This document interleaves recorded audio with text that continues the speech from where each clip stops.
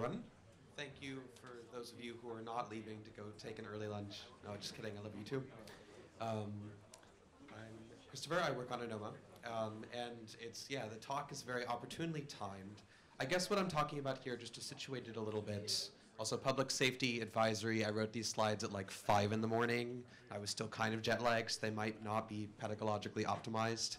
If you, you know, like the talk but you think the slides are confusing, or you didn't like the talk because you thought the slides were confusing, in either case, feel free to come find me afterwards and complain about it. Um, so I, th I, think it might be helpful just for this crowd here to situate ANOMA in relation to, say, a project like Suave. Uh, I guess we kind of, you know, we envision our role in a broader ecosystem as sort of doing things which are complementary, like doing things maybe which other people aren't doing, based on what constraints, you know, we, we, we might have that are different. And in particular, one thing which is different about ANOMA as compared to kind of projects in the Ethereum ecosystem is basically that we are willing to ditch backwards compatibility. As in that, like, you know, I've worked with Ethereum and, and I've worked with Cosmos, and both of those systems are great and they're working in the real world and they have real users and those things are amazing, and I'm thrilled that people are building on those systems. Uh, on the other hand, I think those systems also embed a lot of design assumptions, and many of them are kind of old. Like they're design assumptions that were made based on our understanding of the world, you know, five years ago. Um, and some of those assumptions I think have proved to be right, and some of them I think have proved to be, you know, if not wrong, at least like kind of orthogonal to what has actually happened.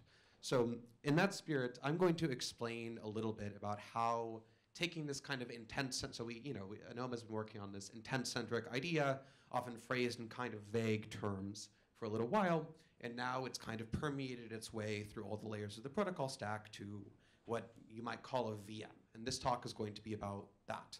So to kind of relate it to the previous one, this is like a proposal for an intent language, or so to speak. And I'm not, you know, what is an intent? That's a great question. Maybe intents are decided based on extensional equality. There's just no one true answer. I'm not going to try and give a, you know, the one true holy answer to what is an intent. This is kind of our answer to how can intents be represented, and it's an answer that we think satisfies, you know, design criteria that many of these projects may actually share. Um, so we think it's it's interesting for this audience.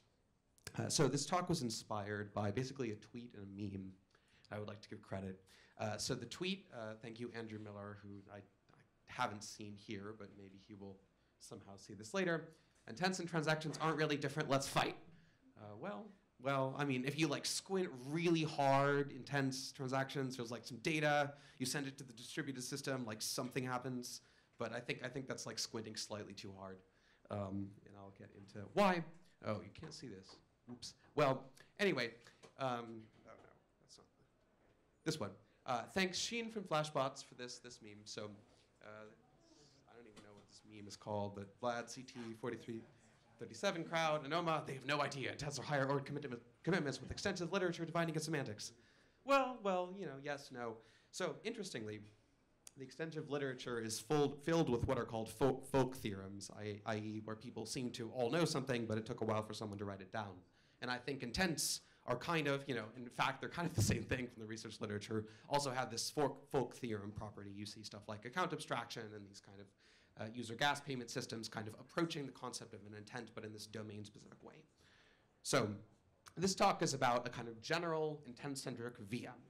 And let me clarify a little bit what I mean by VM, because that word is used to refer to many things which I think are not really in the same category.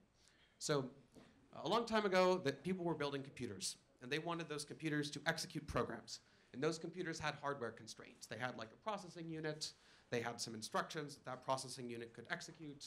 They had you know, some kind of like various levels of memory at different speed to sort of durability trade-offs. They had registers in a stack, they had volatile memory, slightly less fast, volatile, and they had non-volatile storage. And they wanted to like run programs. I mean, very reasonable. This is like 1960. No one's thinking about MEV. They wanted to execute programs sequentially. So if you go on the Wikipedia page, where I got it from, I'm not going to make up my own diagram, and look at von Neumann architectures, you'll see something like this di diagram. And basically, the distinction between control and arithmetic logic units doesn't matter anymore, but the same kind of, you know, there's a communication system between the CPU, it's executing instructions sequentially, um, and as a result, you kind of run through your programs, accessing memory, input, output when you need to, right? Uh, so bonus credit to anyone who knows where this screenshot is from. But the EVM is, in the Grand von Neumann style, a von Neumann VM. Um, it has a program counter, it has an instruction set, it has different kind of layers of memory and storage, and it goes through and it runs programs sequentially. Great. Um, and um, I'm going to talk about a VM which is designed to do something else. So it's not like, not really competing with the EVM, um, but it is uh, doing something which I think is perhaps more suitable to this intent-centric world. In particular, this VM is designed to match conditional commitments atomically. And commitments involve programs. So you might say, well, of course, you just need something that will execute programs. Why don't you just use a von Neumann VM? Um, and my answer is that yes, you can do that, but it's like not quite the relevant problem because what you want to do in matching commitments is to execute several commitments atomically.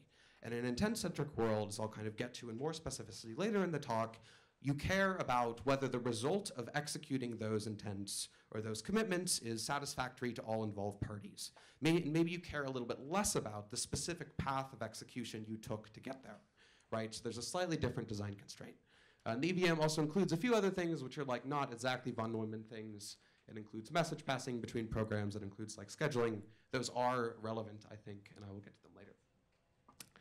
Sometimes uh, something people bring up in sort of the broad discourse is like Turing completeness.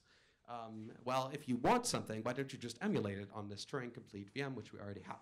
So bonus credit number two, to anyone who knows where this is from, I think this is harder actually, but you definitely are an OG if you recognize this quote. Um, I'll tell you at the end of the talk. Um, and my answer is yes, you can emulate the thing which I'm talking about upon the EVM. I think that's great. But you know, the question I'm interested in is like, what does the execution environment look like for intents? And where, how you kind of emulate that is a sort of, you know, interesting from a performance standpoint, but kind of separate question. Like you could also emulate it on some other, you know, non-EVM von Neumann machine, and nothing would change that much. So uh, I want to go just to kind of go back a little bit into the research literature, uh, just to add another answer to the question of what is an intent. Uh, this meme is my own. Unfortunately, you can't see the bottom, but it says intents are um, cybernetic commitments to the future human LLM synthesis, something like that. It doesn't matter because I'm not going to talk about that. I'm mostly going to talk about the third thing. So what are intents? Intents are just transactions. Intents are binding conditional, conditional commitments from 50-year-old game theory. Right. So here's the 50-year-old game theory. Um, the first kind of folk theorem to be written down by Friedman in 1971 was this uh, uh, equilibrium for super games. And super games, I'm, I'm very sad that that term has kind of gone out of fashion. I think it's a more fun term than like repeated games. Super games, who doesn't want to play the super game? It's like the infinite super game. Uh, anyway, the result established in this paper was just that repeated interaction can result in any feasible individually rational payoff. And then a bunch of recent work, I'm just going to cite one, there are like 15 papers that talk probably more, I just haven't read them, but that talk about different variants of uh, this idea is program equilibria. I think this paper is particularly clear, so I recommend it. And the idea of program equilibria is basically that you can achieve this same result, you can get any feasible individually rational payoff if you have users, instead of just taking actions themselves, use what are called commitment devices or use programs and commit themselves to a strategy. And because this is because this provides like a credible guarantee of how users will act, then you could do stuff like this in the prisoner's dilemma. If my program is the same as the other player's program, then cooperate, else defect. Seems like very straightforward, right? So program equilibria, I think, are you know what you might call the closest, like a, a near-term or like relatively recent research basis for intents. And I think the research literature here, uh, at least like I'll talk in just a sec about what I think we need to change, but it describes the problem pretty well from a mathematical perspective in terms of what we want to get out of these systems and why it's interesting. So from that perspective, I want to ask the kind of like different direction of questions. Forget blockchains, like whatever. What if we just wanted to center around commitments? And then we want to like settle them somewhere. You do need public knowledge to make it credible. Uh, let's just say commitments are functions. We publish them to a blockchain, and the blockchain like calculates this equilibrium, um, uh, which is sort of individually rational and feasible. Um, I argue that this runs into basically four challenges. So if you just try and take the research literature and implement it, um, I think you run into all of these challenges. Um, you know, I'm not, maybe there are three, not four. It's not an exact mathematical characterization. Some of them are kind of related to each other and depend on the particular language, but I want to go over each of these in turn. The first is sort of termination, the second is function introspection, the third is this difference between nominal and structural identities, And the fourth is unclear information flow. So, um, uh, termination fixed point finding. So if you use the kind of most powerful representation in the research literature, which gives you the best game theoretic results, um, you need to use higher order commitments, as in commitments which are dependent on other players' commitments.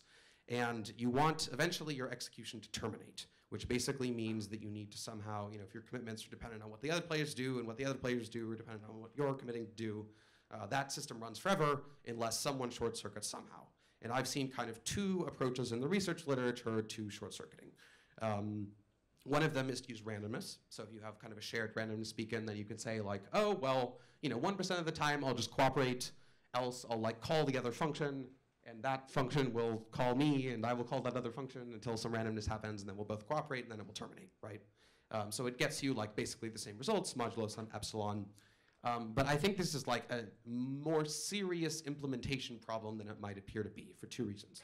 One, randomness, although it's possible to get in these kind of distributed systems, you know, threshold BLS signatures or something, it adds an assumption, which like it seems like you maybe don't want unless you really absolutely need it. And there's this kind of annoying trade-off that you have to now run for a lot of time until your randomness causes the system to terminate. And when your execution is replicated, that seems like a very expensive thing to do. Um, another way to do this is that you can add a separate payoff, basically bribe someone um, uh, to, to make you terminate. Um, and that uh, also works, but I think it sort of creates kind of unnecessary MEV. Um, so program equilibria, and the reason I said these were kind of related is the program equilibria deals with this problem by like checking, by reading the source code for the other guy's program. So if we go back, do, do, do, do, do, here. Okay, so in the program equilibria paper, they write the program like this. There's some very simple syntax, but this is just the example. If my program equals the other player program, then do cooperate, else do defect. Um, that's great. The problem is that this equal sign is like open type theory research problem in the general case. Um, in particular, if you want to deal with sort of programmatic preferences, which are going to encode complex things, and you care about like specific sort of structures of if you do this kind of thing, what does your um, counterpart do? Uh, you would need like full dependent types. Like you basically need to prove arbitrary properties of these the other functions to figure out what your fixed point is. Um, so this is, you know, seems very heavyweight. Of course, there are dependently typed languages, but Ideally, we wouldn't need to embed dependent types as a design requirement for our intent-centric architecture. The third um, challenge is what I call, you know, I don't know if this is exactly the right term, but what I call nominal versus structural identity, which is that in these formalisms, uh, all of the players are known and they're numbered. So they're referred to each other like by index. And if you have a formalism, I think like the one from 2011, that uses commitment devices, these devices are referred to each other by index. So there's kind of a closed world model um, where you can say, oh, well, I care about like what this specific player does, and I know beforehand who all the players are. I don't think this matches what we need in the kind of distributed, uh, typical distributed blockchain setting. In particular, we want, we're dealing with this open world where we don't necessarily know. I mean, we definitely don't know all the identities of the players. We don't want to know for privacy reasons. And the set is like very large. Um, and anyway, so we typically don't care because we want to be able to find counterparties on the basis of, you know, structural identity, like what capabilities they have. Where something like owning a token is a capability, you know, some maybe we're actually trying to use these systems to avoid war, and then we want like credible attestations that this party can actually take some action in the external world, something like this. Uh, so we need to change the kind of basis of identity from this literature to include all actions that matter in our in our context. In the my sort of fourth fourth thing that I think we need to change is uh, you know not precisely characterized, but typically these uh, constructions from the research literature require or rely on this like magic, logically centralized commitment executing computer. Um, and it needs to take all these commitments and like calculate the equilibrium somehow or run them all or do something fancy. And then it needs to you know, reach the, uh, you know, output that state, right? This is fine. Uh, but unfortunately, it requires this like single logical point and it's not, you know, it doesn't give you this kind of fine-grained information control. Like you might want to know things like, oh, I have a bunch of these commitments, and some of them are not codependent. So in fact, I can like deal with them separately. And this uh, you know, this, this framework doesn't natively give you a way to check that. Okay, so now I'm going to talk about the kind of specific construction that we have in mind, which we call a resource logic. And the reason we ended up choosing this term is that there seem to be a bunch of similarities to kind of distributed linear logic. We care about you know no, no double spends in the blockchain context, um, and we like the idea of modeling everything as resources. And there's a really basic kind of trick that resource logic uses to solve or address several of these concerns. Um, and that trick is to uh, forget some information or to not care about some information. And that information is the path of execution. So in a typical kind of uh, commitment scheme, you have like commitments, you, you, you sort of do one commitment, then you check the next commitment, then you check the next commitment. It's like executing small state transitions one at a time. Um, and if you look at this in kind of a branching flow, you know, maybe depending on what player one does, if player one is the red arrow, you go to S1 or S1 prime, then depending on what player two does, you go to S2, S2 prime A, S2 prime B, et cetera, until you reach some final terminating state. Um, and my argument is that we actually have this brilliant property which allows us to not need to do this, which is atomicity. And we can get this by changing the type slightly. So instead of having commitments be kind of higher order um, functions, we can instead just pretend that we already executed everything. We can say that commitments will take some final state, including some, you know, specific strategies which are played by particular players, and commitments will say, yes, I'm okay with that, or no, I'm not. So still they're issued by particular parties who have the ability to authorize particular actions. Uh, you know, uh, this is like a very high level view. But um, if we do this, then we can not care about the path. so a sort of um, way to, to bring this into a practical context is that the earlier talk talked a little bit about um, these different sort of intent-centric vertical specialized systems like account abstraction or something like this. And one thing which these systems often differ in is like where the execution is specifically happening.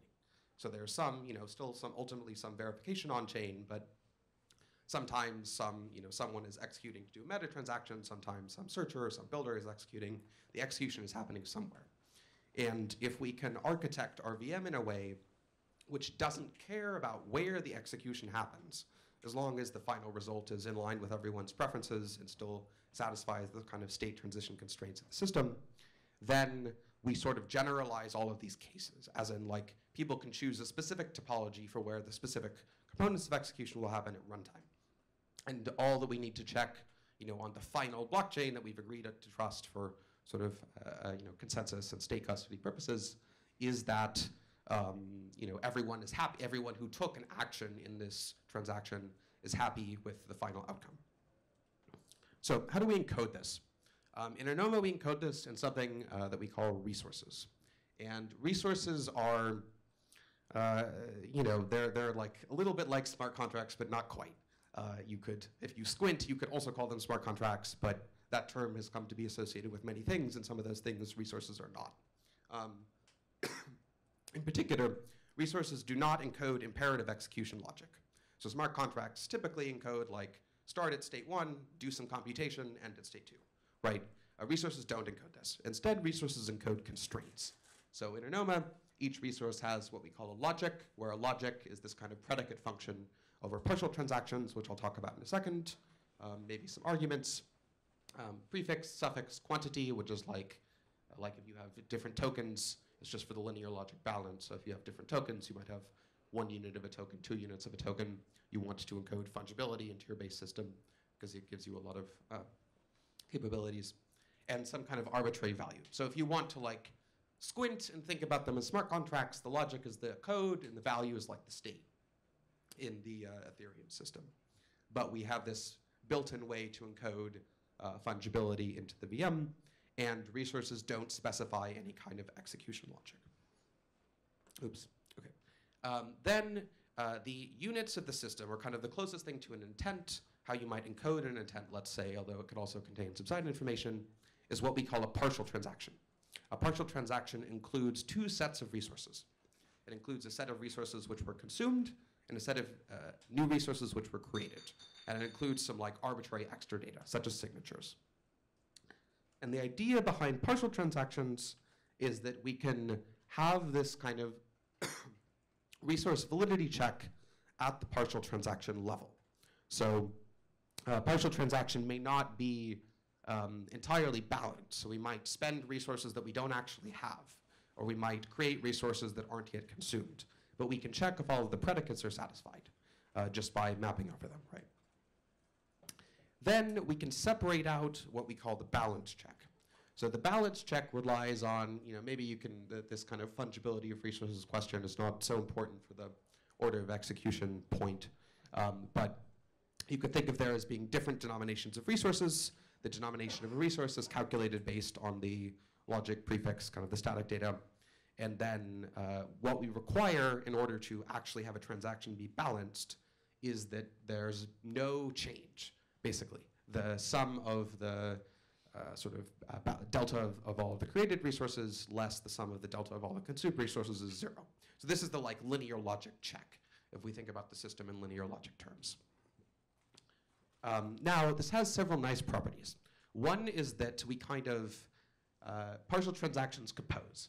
So if you just take two partial transactions and they're valid and you join their created and consumed resources, you end up with another valid partial transaction. So the system is compositional. Uh, now they might like conflict with each other or something. This has nothing to do with you know, ordering, but the partial transactions themselves compose. Uh, also, a transaction, like a valid full transaction, is just a partial transaction that in fact happens to be balanced. So there's no sort of hard distinction between intents and transactions anymore. Um, and when you create these partial transactions and compose them and append to them, you can do all of that execution kind of wherever you want. It just needs to end in this valid full transaction which you publish to the blockchain. So you could take, so for example, if you think about the um, uh, specific prisoner's dilemma case, it's almost like you just pretend that you can do some execution which you actually can't do. So you pretend that you're the other player, and you create a resource that says that um, your counterparty cooperates, um, and you, you know, also, uh, sorry, you consume a resource that says your that your counterparty cooperates, and you create a resource that says that you cooperate, which you have the permissions to do. Um, you don't have the permissions to create a resource that says that your counterparty cooperates, but you can consume one that says that your counterparty cooperates, where then this balance check sort of uh, uh, defers the check of the um, uh, like validity of the whole thing to the transaction level instead of the partial transaction level. So symmetric partial transactions, if you create a partial transaction that says that you cooperate and consume a resource that says your, that your counterparty cooperates and your counterparty creates just the inverse, then these will balance because the denominations cancel, cancel out.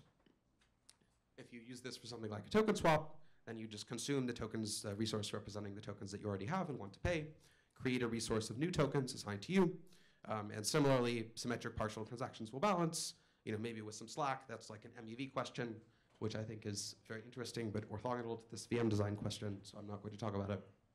Um, and I will argue that this model addresses these concerns with kind of faithfully translating this uh, conditional commitment uh, concept. Um, in particular, it addresses this kind of like termination and introspection difficulty by just splitting computation from verification. So if we think, if we go back, I think this slide is helpful. If we go back to um, the kind of path and the configuration space of potential state changes that we can make, when you make a partial transaction, you can like make some state changes which you don't even have the permission to do. Like they're far down the line, right? Um, but then you can send that partial transaction to someone else who could make the state changes, which if the whole system were sequential, would have happened first. But they don't need to happen first anymore because we've made our VM agnostic to the actual ordering of computation. All it needs to care about is that everything checks out okay um, in verification. Uh, then to deal with nominal and structural identities, when we specify interactions on the basis of resources instead of on the basis of like, you know, this one maybe is simpler, like blockchains kind of already do this, but just to be comprehensive, um, resources already connote the ability to do something because they're owned. So um, inclusion of other players is explicit in this model. If you want you know, to check that your counterparty cooperates, you just put that check right in the like validity check of the partial transaction, right? You consume the resource that says that your counterparty cooperates, and they can only, you know, the whole transaction is only valid if your counterparty in fact sees this and creates the resource that says that they cooperate. Then um, addressing information flow. Um, so this, you know, this is a VM. It's not like a language for information flow. Um, but because validity conditions are separate from the balance check, this helps a lot with building a kind of good substrate for information flow. In particular, it means that you can make the proofs of validity separately and prior to checking the balance. So if I like spend my tokens um, in a partial transaction and the whole thing is unbalanced, but I can go ahead and make the proof for that spend, I can like hide the note where they came from, I can send the partial transaction to you, and you can see what constraints have to be satisfied in order to balance it without seeing the path of execution that allowed me to like create that you know, potential state in the first place. So the validity constraints are, so to speak, are forwarded, and they can kind of be satisfied at any point during execution as long as they're all satisfied at the end. Right. Uh, okay. So the spicy take, uh, which I did not offer a like comprehensive mathematical defense of in this talk, but uh, I haven't heard any good counter arguments yet, um, is that this research structure is kind of inevitable. I think as in that what you really want in order to generalize intents is to build a kind of VM or an execution environment which is agnostic to where execution happened. You don't want it to care about the path. You only want it to care about the end result. Um, you can still use the EVM to do execution. I think that's fine. But I think you would end up with something on top of this that will kind of do this sort of um, intent matching and that will end up splitting out the validity and balance checks in this way. Um, then I argue if you end up with this, then like the EVM does things that maybe you don't need. Like in particular, it does this sequential message passing execution, um, which is fine, but I just don't think it solves the problem that like matching commit matching conditional commitments wants to solve because it is path dependent, and we don't care about the path. Cool. So just the last part here, kind of to, to touch upon the first talk, um, in going towards a more privacy-centric world, is how I think this resource, resource model can act as a substrate for information flow control. So I want to first clarify what I don't mean by substrate for information flow control.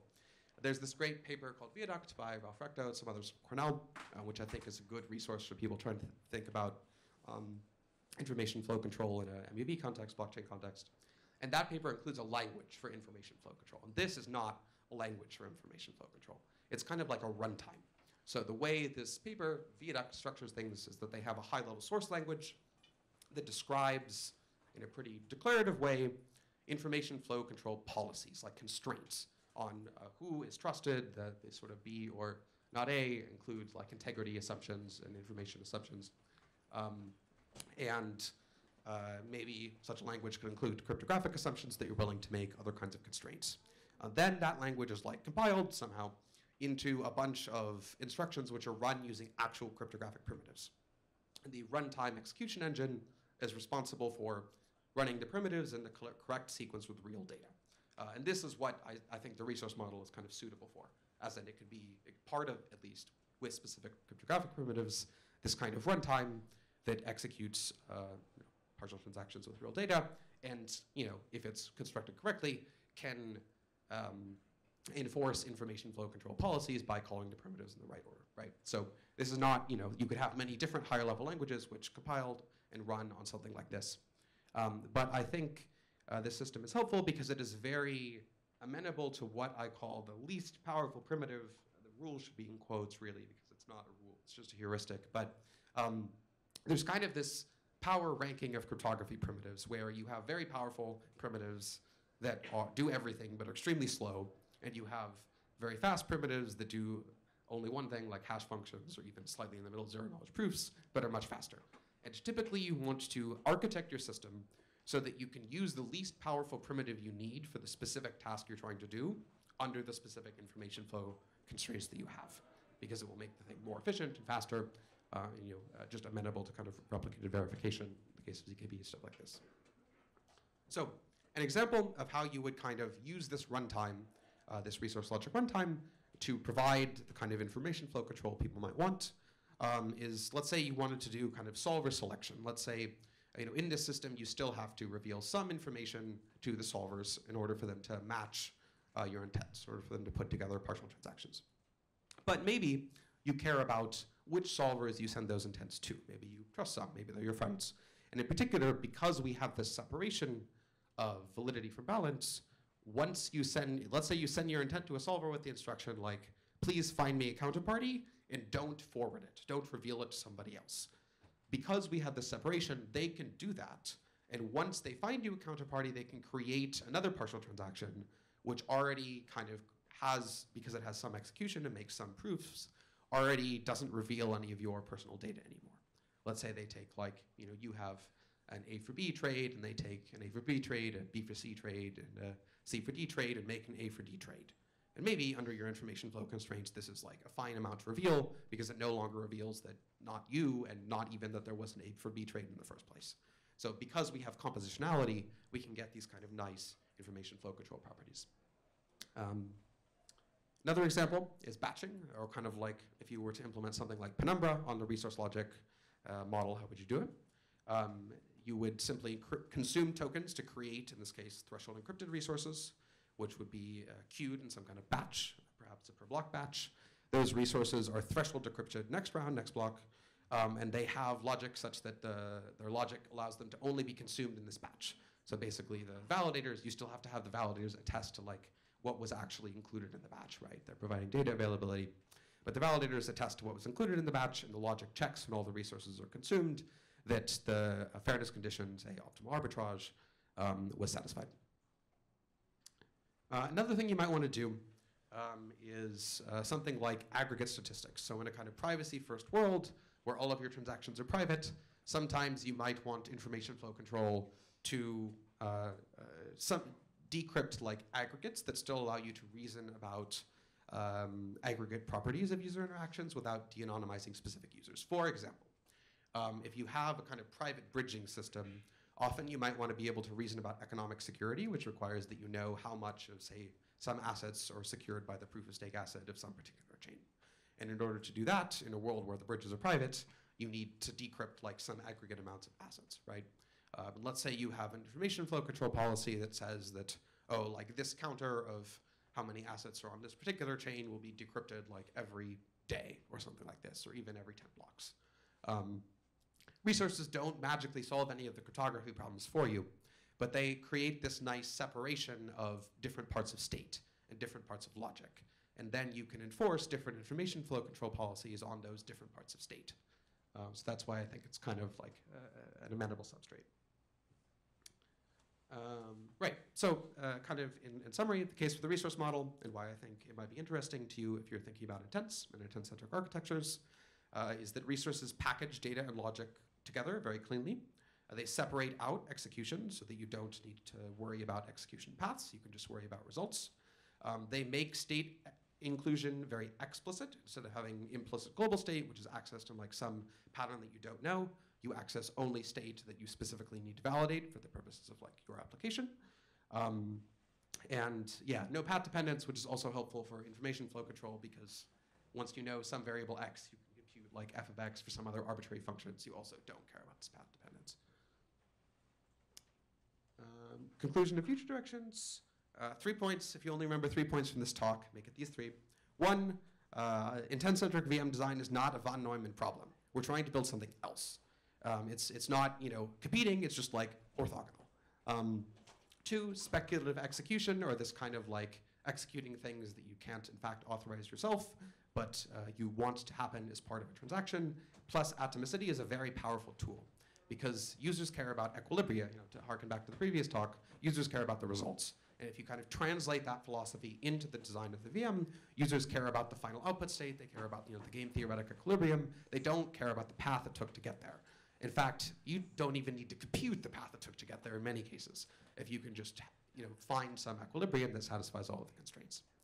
Um, and third, kind of the spiciest, spiciest, perhaps controversial take, is that the resource model is probably inevitable. You can call it something else. You can like change, you know, there are some specific decisions about which uh, you know, variables encode different parts of static or dynamic data, you can change these decisions. But the kind of atomic execution of conditional commitments and the separation out of the execution path so that it can be determined at runtime, I think are things that any intent-centric architecture uh, is really going to want. Some open questions. I think there are also some on the website. Uh, please find me if you're interested in these things. Better formal languages for information flow control, particularly amenable to conditional disclosure. More suitable abstract intermediate representations for programs. Um, solver privacy improvements, maybe particularly using like TEEs in combination with ZKPs in efficient ways, I think is interesting. Many more. Uh, you can find me at CW Goes while Twitter lasts. Maybe it will go away soon. I'm also on Bluesky, but I haven't posted there very much. Uh, but that's only because I'm lazy and I should. Um, or preferably even here. Thank you.